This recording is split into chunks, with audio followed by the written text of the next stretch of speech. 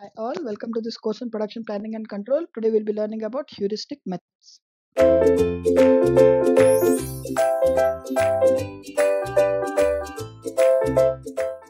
What is heuristic methods of line balancing? It involves drawing a precedence diagram in a particular way which indicates the flexibility available for transferring tasks laterally from one column to another to arrive at the most promising balance. The heuristic approach involves the following procedural steps, which is identifying the work, break down the work into elemental tasks or steps. For example, drilling a hole is a step or elemental task. Similarly, let's for example, we consider this the steps or elemental tasks as 1, 2, 3, 4, 5, 6, 7, 8, 9 or 1 to 9 and based upon that or based upon the time period we find out the immediate predecessor like after 1 2 3 we are getting this one so in the same manner immediate predecessor before 1 and 2 there is none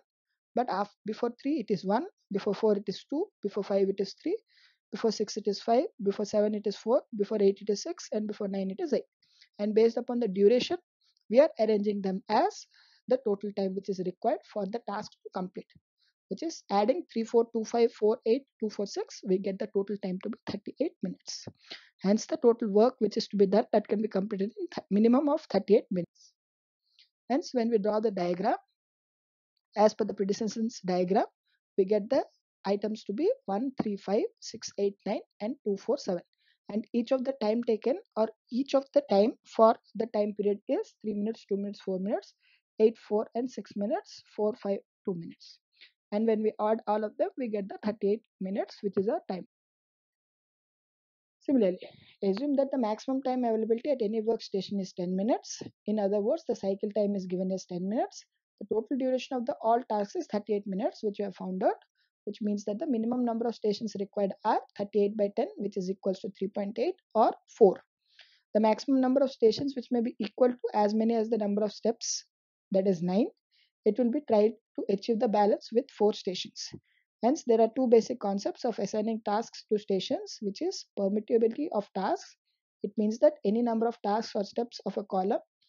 can be combined to make up their total time closer to cycle time provided the total time do not exceed the cycle time. That is time available at a workstation. Tasks of even different columns can be combined provided the precedence constant is maintained. Analysis is carried out column by column and one by one and one can move to the next column only after the tasks in the previous column have been assigned to a station. Or once these tasks are completed then only the next task will be started and second one is the lateral transferability of tasks which means that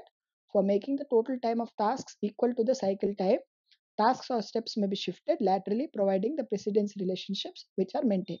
So using the above two concepts and with the purpose of minimizing the idle time at a station the figure 2.1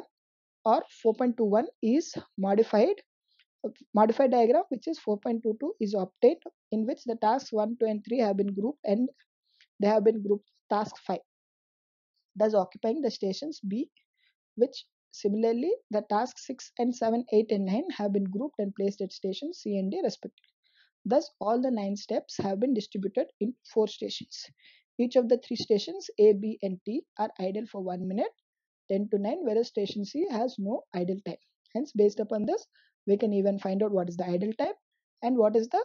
task which will be completed in a particular time. Thank you.